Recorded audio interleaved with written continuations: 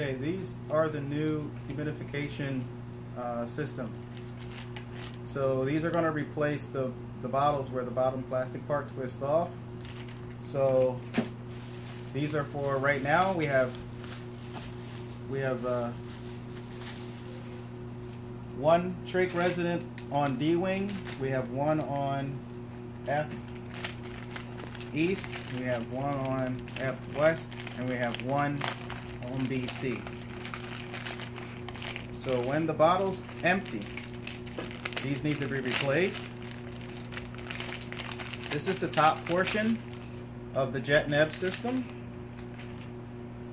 We're going to want to turn the dial where the arrow is pointing on 80. Okay? This gets twisted on. There's a little sharp needle-like object underneath of here. That's going to get twisted onto this part straight and even. Try not to let it tap on lopsided.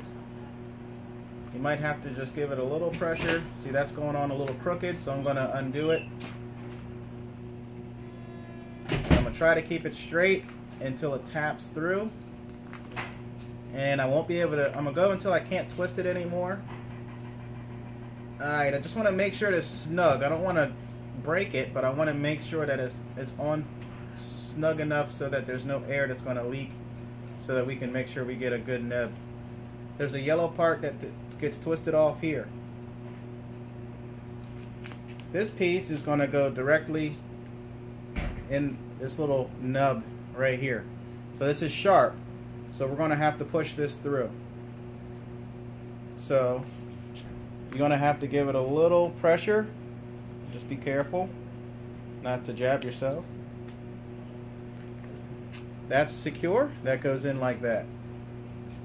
This part taps on to the top of the compressor, which is right here. And that will twist on. Make sure you twist it on straight. And you want to keep twisting until it's nice and snug. Alright. And then you're going to put your corrugated tubing here. If there's an oxygen demand or there's a need for O2, there's a pressure valve adapter that gets twisted onto the front, obviously, and then your corrugated tubing will go onto there. So these are the new systems. You'll find these in Central Supply.